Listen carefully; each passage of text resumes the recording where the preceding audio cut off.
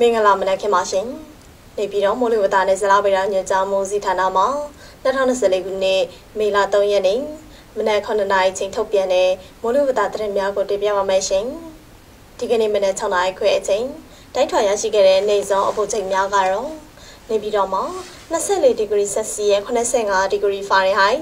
ရန်ကုန်မြို့မှာ26ဒီဂရီဆက်စီရဲ့89ဒီဂရီဖာရင်ဟိုက်နဲ့မန္တလေးမြို့မှာ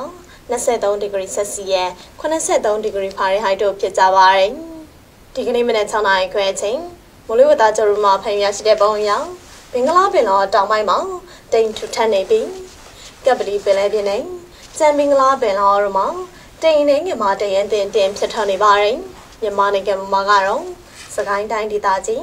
မကွေးတိုင်းဒေသကြီးမန္တလေးတိုင်းဒေသကြီးရှမ်းပြည်နယ်မြောက်ပိုင်းချင်းပြည်နယ်နဲ့ရခိုင်ပြည်နယ်တို့မှာ မိုးတိမ်တောင်များဖြစ်ထွန်းလျက်ရှိပြီးအဆိုပါမိုးတိမ်တောင်များရွှေလျာရာနေရာတခြားမှာ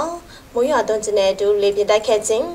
မိုးထစ်ချုံခြင်းမိုးကြိုပစ်ခြင်းလျှက်စီးလက်ခြင်းနဲ့မိုးတိကျွေခြင်းစားတဲ့မိုးလေဝသဖြစ်စဉ်များဖြစ်ပေါ်နိုင်ပါတယ်။ကြံဒေတာတွေမှာတိမ်အတင်အတင်ဖြစ်ထွန်းနေပါတယ်။ဘင်္ဂလားပင်လောအချိန်นี้မှာဘင်္ဂလားပင်လောတောင်ပိုင်းမှာတိမ်ထူထပ်နေပြီးကပလီပင်လယ်ပြင်နဲ့ကြံဘင်္ဂလားပင်လောတို့မှာ တိမ်နေငိမှာတိမ်တင်တင်ဖြစ်ထွန်းနေပါတယ်။မြမပင်လယ်ပြင်မှာလှိုင်းရင်တင်တင်ရှိပါမယ်။လှိုင်းရဲ့မြင့်မှာမြမကဲယူရတဲ့ဆောင်နေ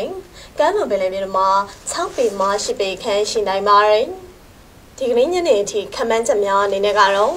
ကချင်ပြည်နယ်စကိုင်းတိုင်းဒေသကြီးချင်းပြည်နယ်မန္တလေးတိုင်းဒေသကြီးရှမ်းပြည်နယ်မြောက်ပိုင်းနဲ့တောင်ပိုင်းတို့မှာနေရာစိတ်စိတ်ရှမ်းပြည်နယ်ရှေ့ပိုင်းမှာနေရာကျကျနဲ့နေပြည်တော်မကွေးတိုင်းဒေသကြီး ရခိုင်ပြည်နယ်ကရင်ပြည်နယ်နဲ့မွန်ပြည်နယ်တို့မှာနေရာကွက်ကြားမုတ်ထချုံရွာပင်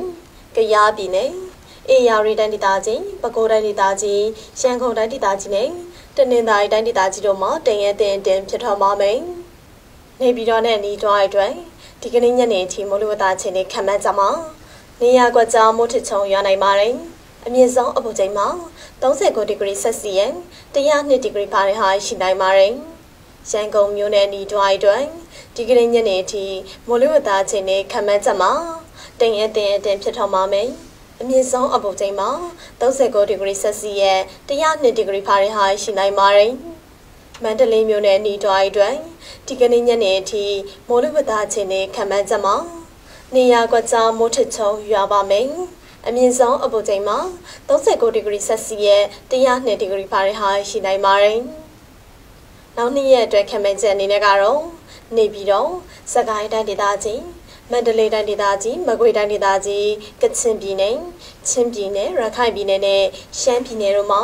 နေရာကွက်ကြားမှနေရာကျကျမိုးထချုံရနိုင်ပါတယ်။အခုတင်ပြခဲ့တာကတော့ဒီကနေ့မနက်9:00နာရီချိန်ထုတ်ပြန်တဲ့မိုးလေဝသသတင်းများပဲဖြစ်ပါတယ်။ကိုစိတ်နှဖျားချမ်းသာချမ်းသာကြပါစေရှင်။